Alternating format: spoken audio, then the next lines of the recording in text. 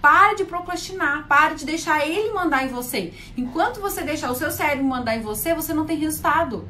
Agora, a partir do momento que você fala assim, olha, quem manda aqui sou eu, as coisas vão acontecer, começa a desafiar você mesmo, começa a desafiar ele. Você precisa desafiar você mesmo todos os dias. Lembra que eu falei, às vezes as pessoas buscam pessoas de fora para poder comparar, para poder desafiar, para poder falar que ah, é concorrente. Não, seu concorrente é você. Desafie você mesmo todos os dias. E faça só por hoje. Fala, faça igual aqueles pessoal que faz lá o ah, hoje eu vou fazer esse vídeo. Amanhã você vai fazer? Não sei, eu vou fazer hoje. Faça hoje. O amanhã a gente ainda não sabe. Viva esse, o hoje, que ó, hoje eu vou acordar e vou fazer isso, isso e isso.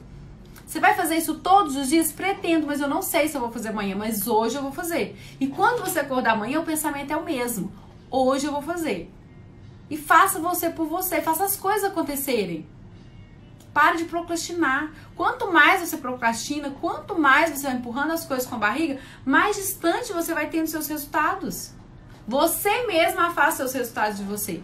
A maioria das vezes é a gente mesmo que afasta os nossos resultados da gente. Por quê? Por falta de atitude, por falta de decisão, por falta de vontade de fazer as coisas acontecer. Porque uma coisa é diferente da outra. Uma coisa é você ter um sonho. Ai, meu sonho é vender XYZ, meu sonho é ter isso. Outra coisa é aqui, é a vontade, é a garra.